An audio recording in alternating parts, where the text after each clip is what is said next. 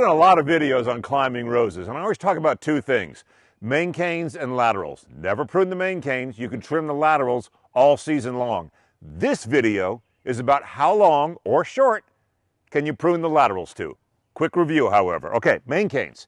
Again, they come from the base. That's what these are. These are my main canes. They're the structure of my rose, for lack of a better word. These are the laterals, these side shoots right here. You can see one right here, real good example of a side shoot. I've even got some fresh green ones coming out over here. Those are side shoots.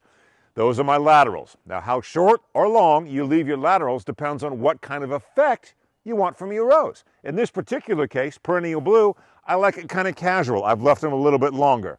Let me show you a couple more examples. If you've seen my videos over the years, this fence and arbor are probably pretty familiar. This is the second iteration of it. I rebuilt that arbor last year, as a matter of fact. But this particular, this is rural England. It's a little bit, uh, coming out of bloom a little bit.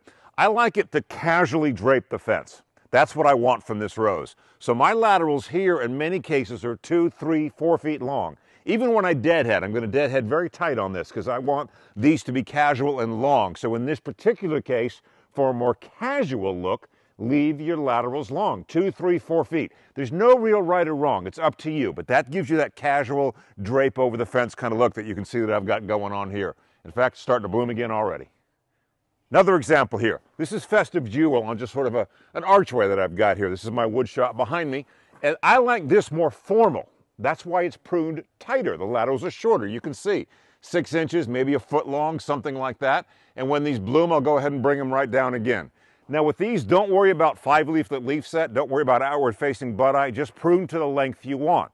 So the answer to your question, how long or short should I leave my laterals is how kind of effect do you want from your roses? If you want a more informal effect, leave them long. Let them drape like I did on the fence a little bit earlier that I just showed you. More formal, do what I did here in Festive Jewel. Totally up to you. Question real quickly, when should I trim my laterals? As you're deadheading. You can do that all season long. When this thing is flowered out, I'm gonna go ahead and trim it short. My fence, when it's flowered out, I'm gonna trim it long. So it's totally a personal opinion, up to you, how long or short you wanna leave your laterals.